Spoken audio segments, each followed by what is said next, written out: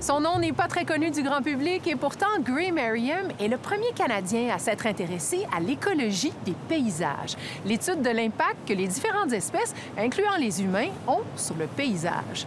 À 91 ans, il continue de réfléchir à notre place dans l'écosystème, tout en martelant un message, l'humanité doit respecter ce qui l'entoure.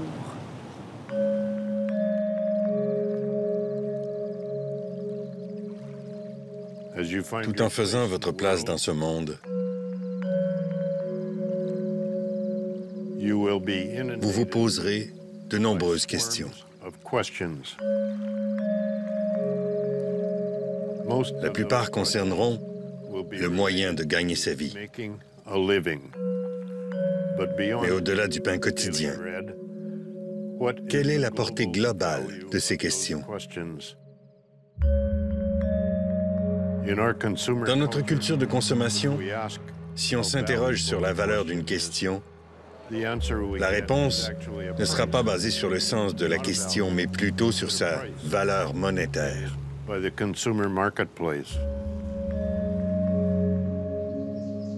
Essayez de trouver des réflexions qu'il sera intéressant de poursuivre. Des questions qui resteront pertinentes quand vos enfants auront des enfants.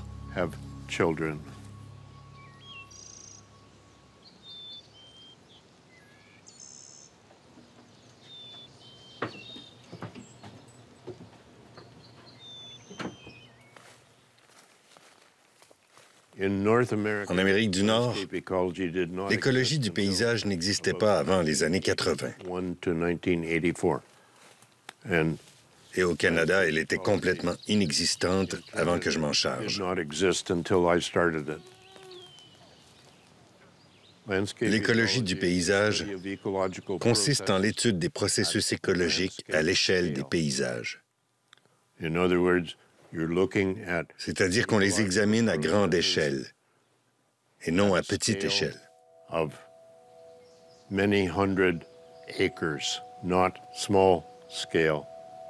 La mesure de la dynamique des populations animales et végétales permet de définir comment nous traitons le territoire.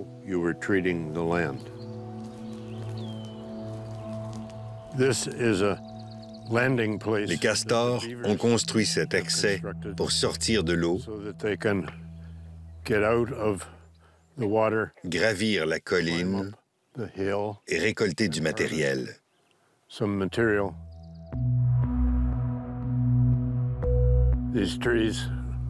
Ces arbres, quand ils arrivent en fin de vie ou par grand vent, tombent et on les laisse au sol.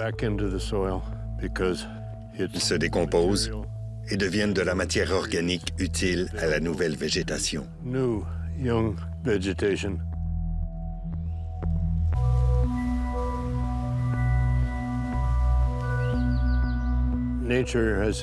La nature est faite comme ça. Notre travail consiste à l'apprécier tel quel, pas à l'analyser dans nos termes scientifiques.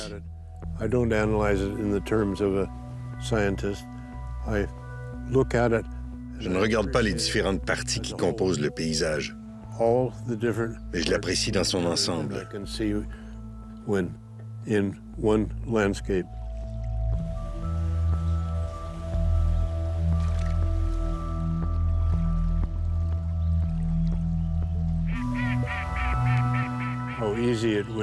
Ce serait facile de gâcher ce magnifique décor qui s'offre à nous.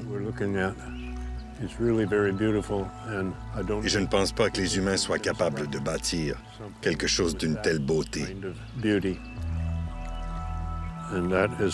C'est pour cette raison qu'on a conclu, avec la fiducie foncière locale, une entente qui protège ce territoire grâce à une servitude de conservation.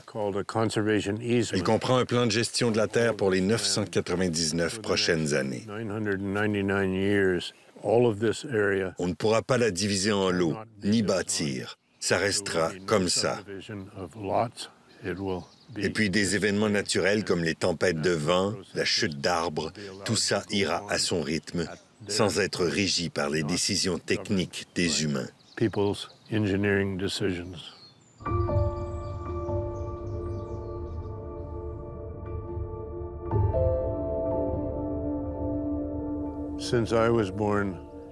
Depuis ma naissance, la population mondiale a quadruplé. Et c'est la cause principale des problèmes que nous connaissons aujourd'hui. Il y a trop d'humains. Et en plus, beaucoup veulent s'enrichir.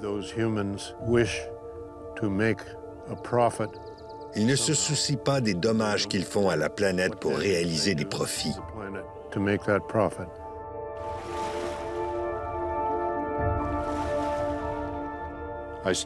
J'ai commencé à conscientiser mes étudiants à propos du réchauffement climatique en 1969. C'était évident que le CO2 augmentait, ce qui pourrait poser problème.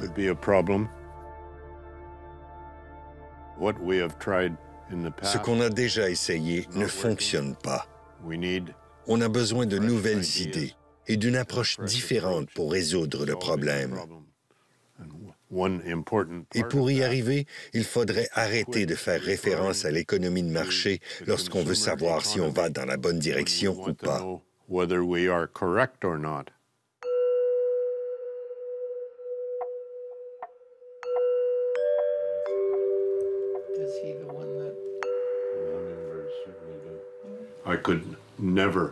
Je n'aurais jamais pu imaginer vivre une vie comme celle-là.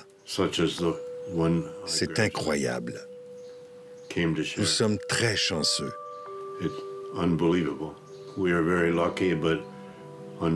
Malheureusement, cette chance vient avec une dette que nous laissons à la planète. Et ça, c'est gênant.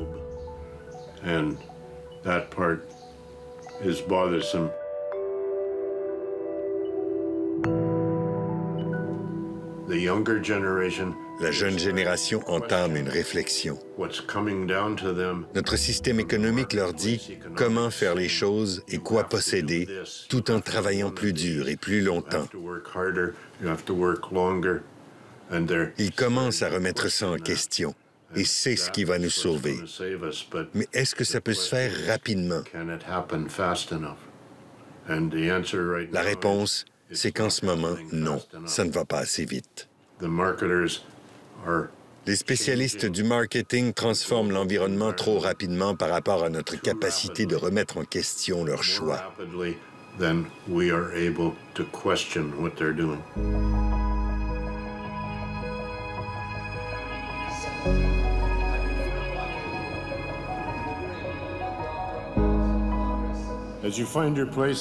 Tout en faisant votre propre place dans ce monde, vous soulèverez de nombreuses questions, la plupart liées au modèle économique qui nous régit.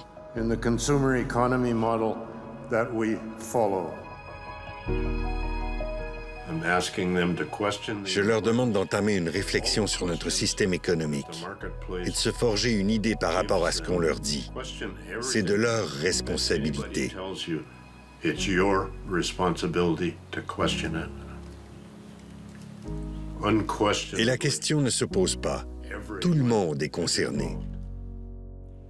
Il nous faut un objectif mondial libéré d'idées préconçues sur l'économie de consommation. Ce n'est pas une lubie. C'est une condition impérative à notre survie. Comment amener l'humanité à prendre des décisions basées sur les valeurs des processus écosystémiques mondiaux en lien avec des projections économiques? Notre avenir dépend de la façon dont vous, les jeunes, allez traiter cette question. Et vous êtes notre seul espoir.